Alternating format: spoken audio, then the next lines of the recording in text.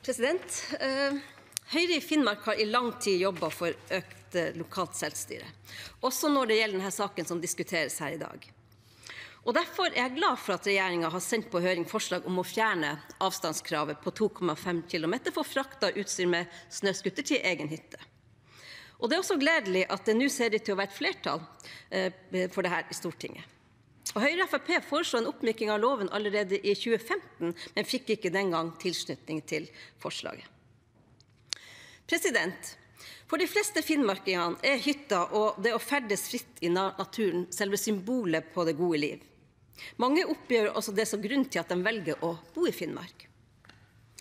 I Nord-Norge, og i Finnmark spesielt, har vi sne store deler av året. Og denne vinteren har ikke vært noe unntak. Sneen ligger fortsatt godt i Troms og Finnmark. Det er det vi kaller et skikkelig snø, sneår.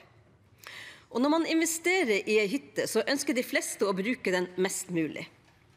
Det å komme seg til hytta, enten du er 85 eller 3 år, må være overkommelig også de vintrene det er mye snø.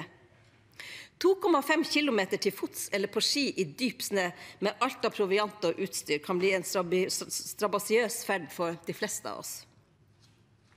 President, Med forslaget som nå er sendt på høring, kan hver enkelt kommune gjøre sine selvstendige vurderinger. Jeg registrerer at mange i nord mener at dette er rett vei å gå. Noen har innvendinger og frykter mer støy. Og det er innvendinger som er høyst relevant.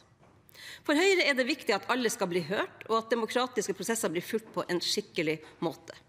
Og jeg har stor tiltro til at også kommunene tar med dette i sine vurderinger og forvalter reglene på en forsvarlig måte. Det vil fortsatt være sånn at kommunene må gi særskilt tillatelse til at den enkelte hytteeier etter en egen søknad. Så avslutningsvis president, så vil jeg gi ros til regjeringa som har sendt ut forslaget om å fjerne 2,5 km-grensa. Det vil føre til at man allerede neste vinter kan åpne opp for gode og fornuftige løsninger rundt omkring i hele landet. Takk.